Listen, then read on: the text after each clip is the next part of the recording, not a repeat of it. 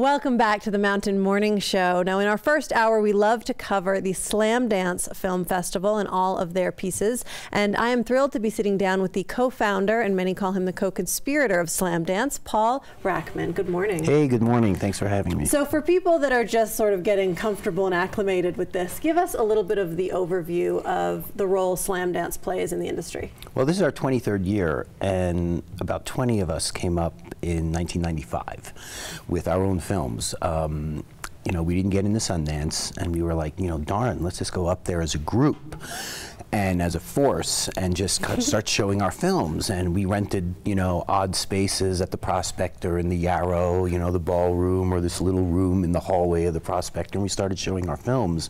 And more than anything, the uh, Hollywood and film press really fell in love with us. And it, you know, that was a time in the mid 90s when independent film was kind of being co-opted by bigger Hollywood studios. Mm -hmm. uh, you know, Disney bought Miramax, Fox started Fox Searchlight. So all of a sudden, the true, true small independent film that even Sundance was founding was founded on was kind of getting edged out of the festival. So we kind of came in and filled that gap. And um, we really concentrate on first-time filmmakers. Uh, you know, modest budgets, no distribution, first time out.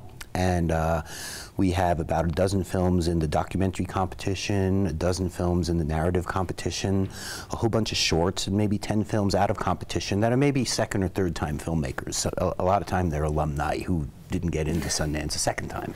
Well, I love that though, because like so many of the best ideas, you got told no, and you decided to go off and do it yourself. Right, right, and you know, other other filmmakers had tried that before, but they'd come up with just their film and themselves, and we came up as Power a group. numbers. Power numbers, and it was really, you know, we were helping each other, and that's kind of what we still do at Slamdance, and all the filmmakers at Slamdance end up helping each other, whether it's at the festival or after the festival. Well, and some of the alumni that have come out of Slamdance, we were talking Christopher Nolan, Lena Dunham. I mean, really. Ben Zeitlin. These are uh, Oscar Lynn winners. Shelton. yeah, yeah. The, these are these are all great filmmakers, and um, you know, one of the thing one of the thing that happens, uh, you know, that I also say when the filmmakers arrive is like have a good time because a lot of those filmmakers, when I run into them or talk to them, one of the things they say is like, you know, I had a great time at Slamdance. I have like great great memories from my first film because of Slamdance. That's, you can't ask like for much more than that. Creating memories about your career, you know. Well, I have to ask now.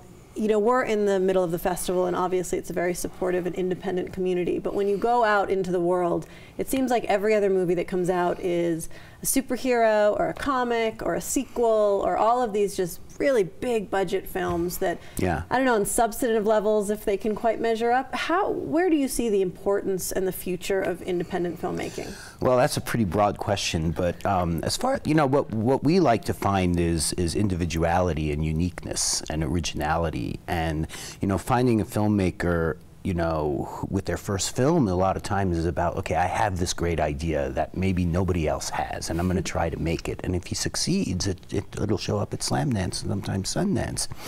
So that's what's hard to keep, I think, as you get further into the business and you really want a career and you go to Hollywood, then those ideas are sometimes viewed as less commercial. So, you know, both Slamdance and Sundance really supports these original voices. And it's really hard to keep carrying on with that. Um, you, you, know, you need talent, you need luck, you need connections, you need all these elements to make a film happen, particularly those kind of very unique, original films that aren't just the formula that has worked the last time that is a sure bet to work sure again. Bet, yeah. Because that's kind of what happens. Um, well, and I uh, love that Slamdance doesn't make an artist sort of dilute their vision. No, no. I mean, we're you know we're we're nurturing you know fresh filmmakers, you know, and we're trying to support their you know their inner art you know what they want to do. Well, you, you, you said it. It's a discovery fest. Yeah, it is. like it's that. emerging filmmakers for the most part. It's finding, you know, a lot of times really Slamdance. It's it's looking at, you know, the film they have at Slamdance might not be their big hit or might not be a breakout, but a lot of times it's going to be about what that filmmaker does next. I want to talk about the closing night film uh, for the festival. This one is After Adderall. Correct. The well, you tell me a little bit of the backstory. Well, after one. after Adder Adderall is a very small personal film again by Stephen Elliott, who's an award-winning best-selling author. Um, Of the Adderall Diaries. Of the Adderall Yeah. Diaries, correct. So he became famous with the Adderall Diaries, and he he had been familiar with with Hollywood a little bit before, and had been involved with you know other books, and had a lot of friends and, and as filmmakers. But James Franco options the Adderall Diaries to make it into a movie, and he does.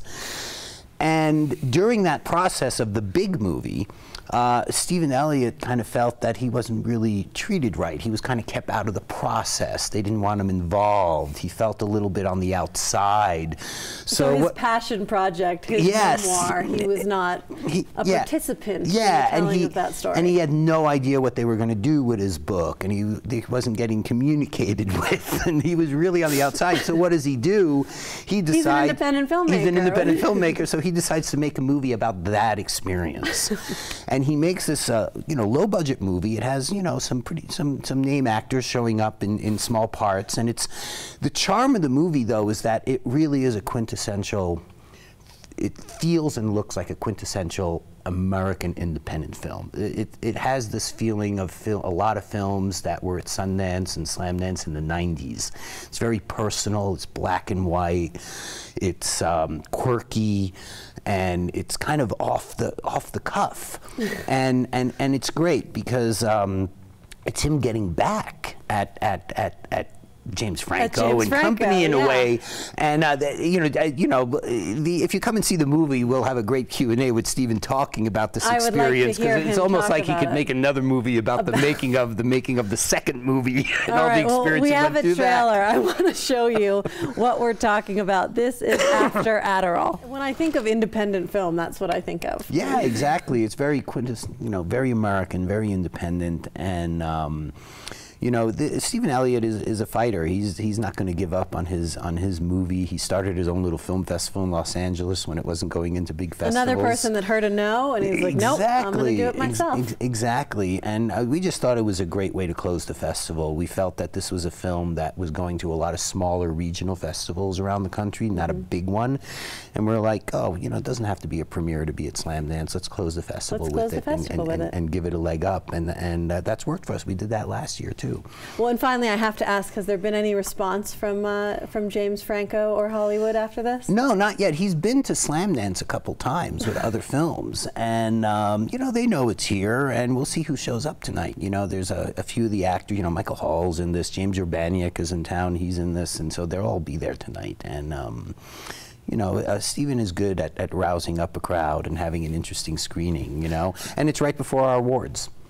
Tomorrow I can night. see it being a film about a film about Oh, yeah, a yeah, film. yeah, We could be back next year with this. Exactly. But that's what makes it so much fun and so Yeah. different than what people are used to in the mainstream. Yeah, and we're so happy to have it here in Park City, you know, in the whole big spotlight of Sundance and Slamdance. We, we didn't want this film to get forgotten. Well, Paul, I appreciate you being here, and I Yeah. appreciate you continuing the work with Slamdance. It's, Yeah, thanks a lot. it's the Discovery Fest. It is, it is, and we're not going away as long as people will have us.